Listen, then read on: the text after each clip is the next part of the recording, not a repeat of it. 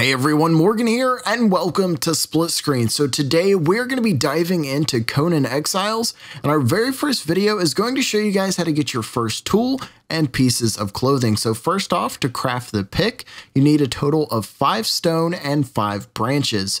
Stone can be found all over the ground here in the desert areas and as you progress further into the forest areas. Just go up to these small rocks, press E, and it'll be added to your inventory.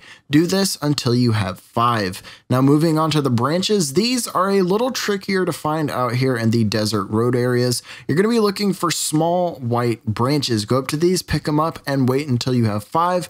Or if you can manage to reach the forest tree area, you can go into there and you can find branches all over the place. Collect five of those, open up your crafting menu, and you are able to craft yourself a pick. The pick allows you to farm sandstone to get stone quicker, and of course, it'll earn you experience. Now, moving on to your first piece of clothing, all you're going to need for this is plant fibers, and it is by far the easiest thing to get all over the sides of the road and in the forest areas, you're going to see these bushes. Go up to them and press E and you will have plant fibers added to your inventory. Whichever piece you're trying to craft, acquire the specific amount and begin crafting it. Doing so will earn you experience and it'll get you a piece of clothing. So that is our very first Conan Exiles guide. If you guys found it helpful, a like is always appreciated here at Split Screen. And if you guys are new around here, why not subscribe as we will be covering Conan Exiles extensively. And we want to keep you guys up to date with the latest in gaming news, guides, reviews, and entertainment. But with all that being said, my name is Morgan and I want to thank all of you guys for watching Split Screen.